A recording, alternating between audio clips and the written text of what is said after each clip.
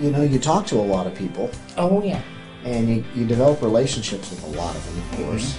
But our clients hire us because they they have to trust us, really trust us to handle some of their most important transactions, really critical calls, Yeah. emergency calls, critical care. I mean, these are calls a lot of times that companies would probably be handling themselves if they were available, but they trust us to do it.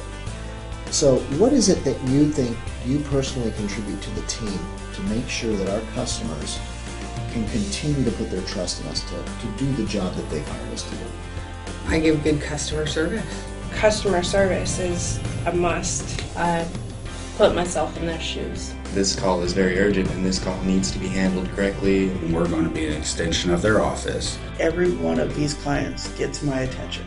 I keep a really good relationship with all the clients. We keep up on what's going on with our callers, with our accounts. When we say we're going to get a message out, uh, we get it out. When we say we're going to get a hold of somebody, we get a hold of somebody.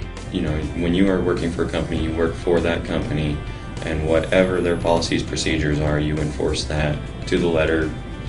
And as far as professionalism, make sure that you treat each person that is a customer of our client as an individual. You listen to what they are asking for, and you make sure that they are served in the best possible manner that you can.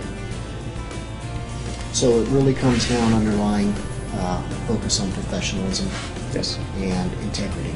Yes. Excellent.